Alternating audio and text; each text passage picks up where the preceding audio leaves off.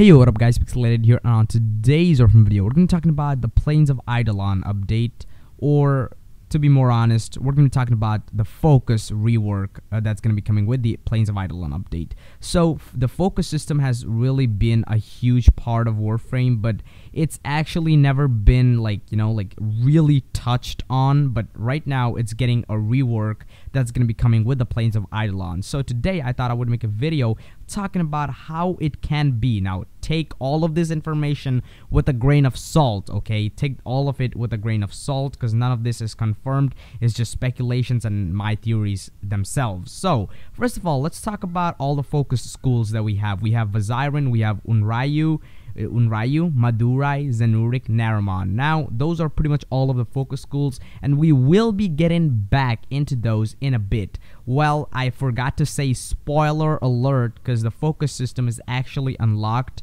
after you finish the war. No, not the war, within the second dream. It's like a new part to the game where you can use your character, you can customize your character after the quest, and it like basically gives you like sort of passive Warframe abilities. But do keep in mind that the focus system was actually introduced to like you know to get you into the operator gameplay but it was not fully finished at that time. But after you finish the war within and this is another spoiler after you finish the war within you can actually play as your operator. So the operator uh, operators actually got a much more like independent view to the combat thing but to be honest with you right now you can't really use the operators to fight enemies and do shit like that. Like you just can't do it because the whole entire thing is just not developed yet.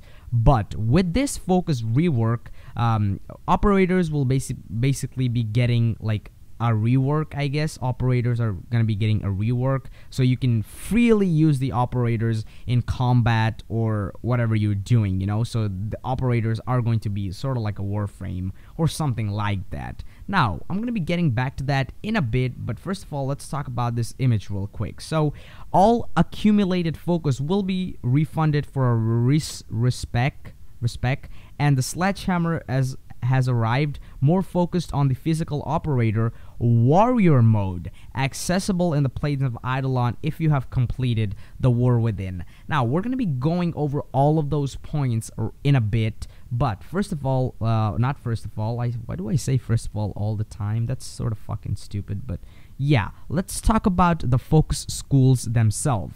So if you haven't finished the War Within, this is a massive fucking spoiler. So just just just click off the video, like you know, do, do whatever you want, or you can you can keep watching it and give me your ad revenue. You know what I'm saying? Yeah, you know, yeah. No, that was dumb as well. But Vaziren, Vaziren, Vaziren is that Vazarin? Okay, I don't, I don't know. This, the, the words are really weird. But uh, on the description of Vazarin, it says that the train uh, they are trained to counter the enemy and move within uh, move within the op- opponent's attack in order to nullify them. So Vazarin is sort of like you know they they are like the strongest. They they basically prepare themselves to fight the enemies and shit like that. So next up we have Unairu. They push themselves to the out- outlast of the enemies to withstand all aggression without retreat. So that should explain a lot about Unairu. Unairu is basically like tanky, you know, armor basically. So that's what Unairu means. Now the Madurai one is really weird. They followed the path of engage the enemy uh, to to engage the enemy. They're swift, uncompromising onslaught holding nothing back, recklessly attacking their foe. So basically, this is Madurai. Madurai basically means, you know, going all fucking out, smashing and ripping your enemies into pieces. And I'm to be telling you why these are really important as a description.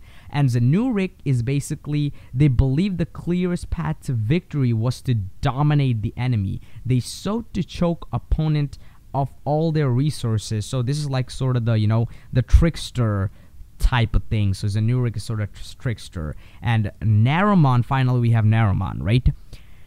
Naramon by far is like it's it's really weird. It's basically a combination of like you know trickster, a little bit of mind control, and something like that. So Naramon is that is that's the best way I can explain Naramon. Now let's talk about the whole focus rework thing, right? What does it mean and why is it really important? Now I'm gonna be telling you this, man. It can go southways and it can goes it can go any way with this rework.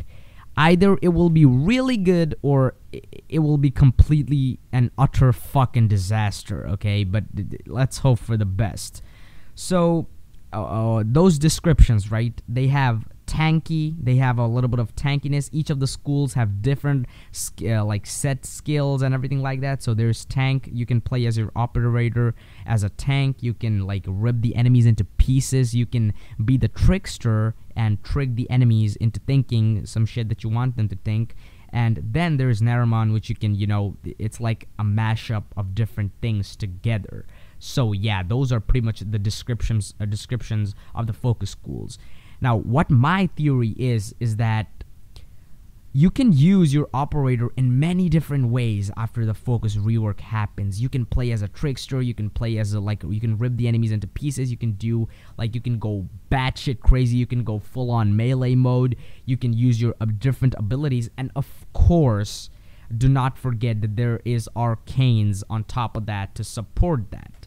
But my question here is that and this is a big one, is that how the fuck are you supposed to fight fight with like 100 health?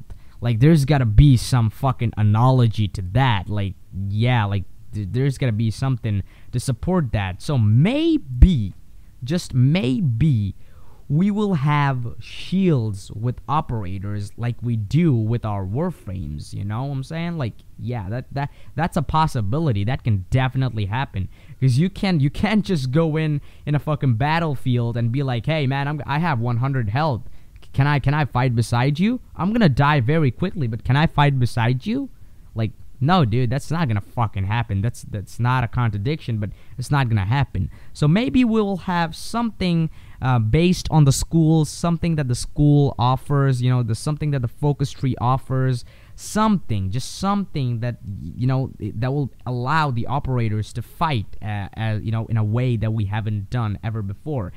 And, the next thing that we're, of course, we're going to touch on, and that's all of the skills uh, theory that I have to mention. Now we're going to be talking about the focus rework. So everything that you have earned so far, all the respect, everything, it will be refunded. Okay, all of your respect will be refunded, and it will be uh, refunded for a respect I don't know what that means. Just don't. So that's one thing that's just clear. That's everyone can understand that. Now, I want to touch on the second point, which is the sledgehammer mode, which basically means it will have more focus on the physical operator. So what this basically means is that we're gonna have different different types of operator gameplay. You can fight with your operator, you can go fishing with your operator, you can collect stuff with your operator. You're gonna have to do certain things in the open world that's gonna actually need you to be in your operator mode. So that's what the slash sledgehammer mode means, and warrior mode. Now this, my friends, is like ho ho. Okay, this is really fucking interesting. You know why? Because I, I predicted that this day would come when you will be fighting as your operator.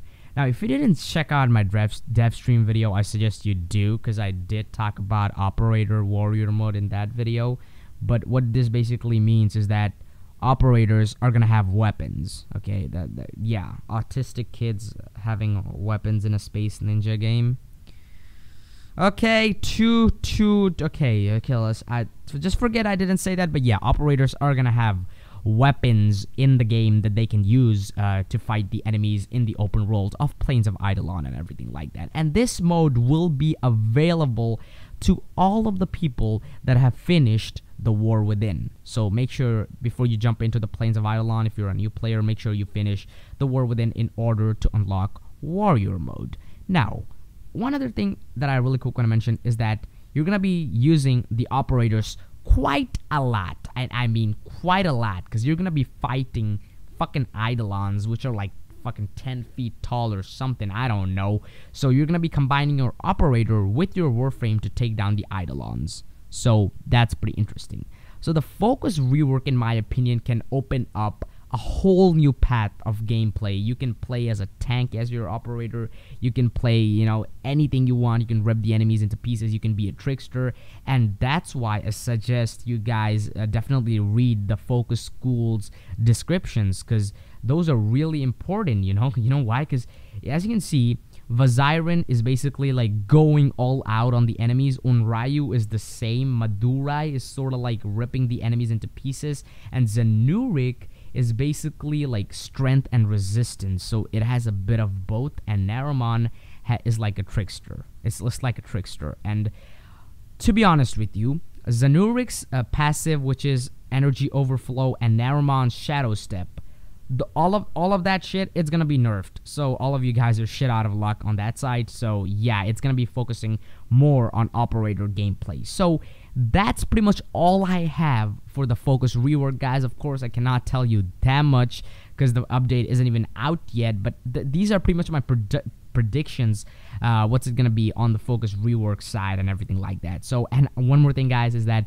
i know i uploaded this video like 10 days late yeah, so original and funny. So original and funny, guys. Haha. Self deprecation is fucking amazing. Uh, okay, that was weird as well. But yeah, I am really sorry that I uploaded this video after like 10 days late. I ran into some problems in real life, had to fix those, and yeah, pretty much we're good right now. So I'll be trying to upload more often, but Mm, not not sure about that yet, but that's it for the video, guys. I hope you guys enjoyed this video. Hit that like button if you enjoyed the video, guys. If you're new to the channel, make sure that subscribe button because hitting that subscribe button helps me a ton. And yeah, I'll catch you guys on the next one. Peace. Hope you all have a great day.